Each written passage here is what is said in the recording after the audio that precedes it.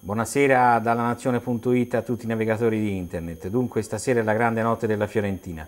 L'esordio a Lione in Champions League non privo di difficoltà, sarà un test fondamentale per capire la tenuta tecnica, atletica e di nervi della squadra nella massima competizione europea. Ma in queste ore, proprio di attesa della partita, c'è un'altra notizia che viene da Firenze e che è di fondamentale importanza per il futuro della società. Il 24 settembre prossimo è convocato un consiglio di amministrazione straordinario al quale parteciperanno i fratelli della Valle, proprietari della Fiorentina, in cui saranno decise nuove nomine nella gestione societaria e sportiva.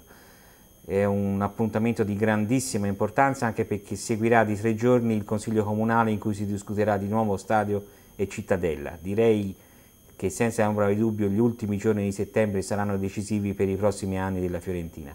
Grazie e buonasera a voi.